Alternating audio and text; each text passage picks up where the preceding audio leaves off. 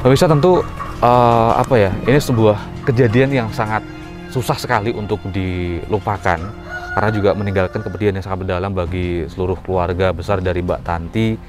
Kemudian juga saya sudah bersama dengan Pak Tony, Pak G. Yeah. Pak Tony selaku Kepala Desa. Keraswetan. Kepala Desa Keraswetan. Pak Tony ini terkait mungkin uh, keluarga dari almarhum Mbak Tanti sendiri. Ini sejauh ini bagaimana sih Pak Tony? Kalau melihatnya mungkin dari keluarga bapaknya tadi kan yang kita ketahui bapaknya itu meninggal satu tahun ya satu tahun satu meninggalnya bapak ya itu bagaimana pak Pak Tony? Ya, secara umum eh, beliau Bapak Haji Triyono ini memang dulunya seorang perangkat desa. Oh seorang perangkat desa. Dia purna sudah lima tahun yang lalu. Hmm, Kebetulan beliau juga eh, naik haji tahun 2016 kemarin.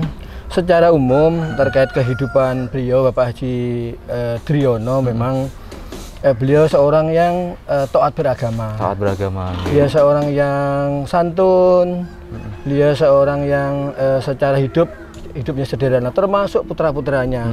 Kebetulan eh, Dek Tanti ini adalah anak yang kedua. Dari kedua putrinya itu memang selama ini dia anak yang taat, tidak pernah berbuat macam-macam, nggak pernah keluyuran kalau bahasa sekarang.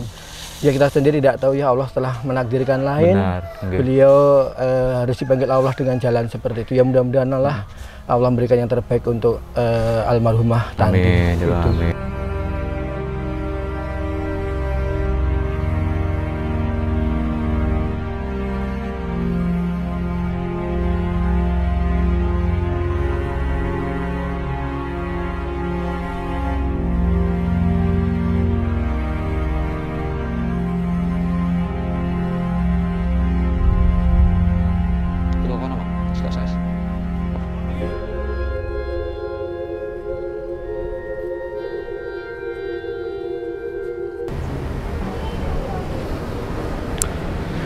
Ya, pemirsa dugaan awal penemuan mayat yang tertemper kereta api di wilayah Kecamatan Paron, Kawat Ngawi adalah terduga pelaku penganiayaan dan pembunuhan wanita yang ditemukan eh, meninggal dunia di warung es dawet yang ada di wilayah Kecamatan Gendeng, Kabupaten Ngawi.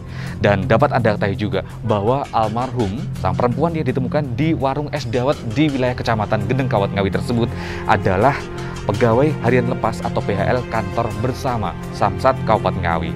Meskipun begitu, pihak kepolisian juga belum berani untuk memastikan jika korban yang tewas tertabrak kereta api adalah merupakan pelaku pembunuhan wanita yang ditemukan di warung es dawet di wilayah Kecamatan Gendeng, Kabupaten Ngawi. Satreskrim Polres Ngawi sampai saat ini juga terus mendalami kasus temuan mayat tersebut dalam warung es dawet tersebut dan menurut hasil pemeriksaan otopsi, mayat perempuan berinisial T ini mengalami 41 luka terbuka baik pukulan benda tumpul serta sayatan senjata tajam.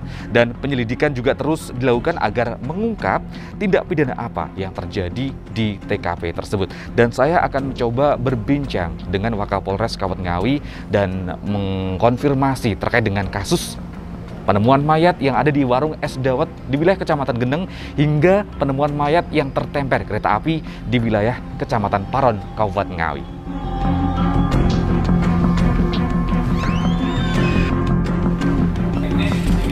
Iya. Baik, jadi sini saya jelaskan sedikit. Jadi ini berawal dari adanya laporan dari pemilik warung atas nama Suhadi itu sekitar uh, pada hari Selasa tanggal 28 Desember 2021 itu menemukan ada korban yang tergeletak. Menyampaikan ke Polsek Genang kemudian Polsek menyampaikan ke Polres turun tim ke TKP itu salah satu warung es dawet di Desa Kelitik Genang. Kemudian turun tim ke sana menemukan korban tergeletak dan berhasil diidentifikasi dari hasil identifikasi di TKP langsung bergerak cepat uh, tim dari uh, Resmob dari Polres Ngawi langsung uh, identitas dari korban sudah ada atas nama uh, T T ya inisial T. Itu bekerjanya salah satu juga sebagai PHL di uh, lalu lintas. Ya akhirnya kolaborasi personil uh, mendapatkan titik temu akhirnya sampai pada malam harinya itu kita uh, menemukan menemukan ada laporan orang yang tertabrak kereta api. Kemudian setelah uh, ke lokasi TKP yang kedua itu berhasil ditemukan bahwa identitas dari yang meninggal tertabrak kereta api itu itu sesuai dengan suami dari korban yang di lokasi pembunuhan di warung. Dari hasil penyelidikan itu dapati bahwa memang korban ini suami istri dan kami juga baru bisa jelaskan karena sudah ada izin juga dari keluarga sebagai pembelajaran untuk masyarakat yang lainnya. Jadi dari saksi pemeriksaan itu didapati seminggu sebelumnya pernah dicurhati itu ada cekcok dan ada pernah juga disampaikan bahwa uh, suami istri ini kalau memang nanti terjadi cekcok mereka akan niat mati secara bersama. Itu dari sampaian saksi.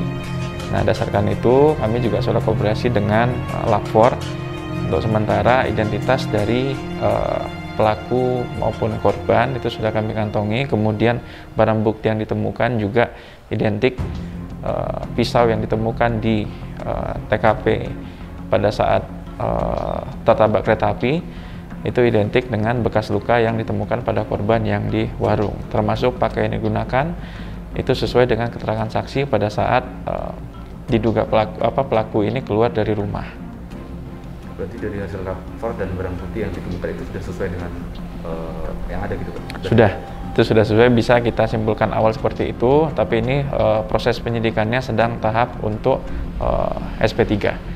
Nih, jadi kita nunggu proses SP3 selesai dari keluarga juga nyatakan untuk uh, pembelajaran bagi yang lain agar cekcok dari keluarga tidak menjadi hal seperti ini.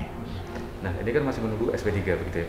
Tadi kan nanti sudah uh, diketahui kan pelaku sudah meninggal dunia gitu kan. Yang dilaksanakan dari kepolisian sendiri selanjutnya bagaimana? Uh, dari kalau sudah selesai proses SP3 maka proses akan selesai. Ini kami nanti akan uh, tentunya dari sisi kepolisian sendiri itu akan eh, hasil dari ini kami akan sosialisasikan. Artinya jangan sampai ada permasalahan keluarga yang berdampak sebagai kasus pembunuhan seperti ini. Itu yang perlu kita antisipasi. Mungkin ada himbauan kepada masyarakat agar hal serupa itu tidak terjadi lagi seperti itu ya? Ya intinya uh, himbauan pada masyarakat khususnya di Kabupaten Ngawi ini semua permasalahan itu bisa diselesaikan. Ya silahkan manfaatkan. Kami di sini ada wadah FGD kalau bisa manfaatkan dengan kepolisian ada forum group discussion dan kemudian ada fungsi-fungsi pembinaan yang ada di Polres Ngawi. Uh, setiap pimpinan perwira yang ada di Polres Ngawi itu juga bisa bersedia menjadikan cari solusi bila ada permasalahan. Artinya kami di sini Polres Ngawi siap membantu masyarakat mengatasi permasalahan. Jangan sampai ada timbul uh, kasus-kasus uh, pembunuhan di kemudian hari yang melibatkan suami istri seperti ini.